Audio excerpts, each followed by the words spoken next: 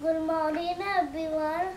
My name is Devantu This new year, I will make new friends. I will eat vegetable, fruits. Thank you. Have a nice day.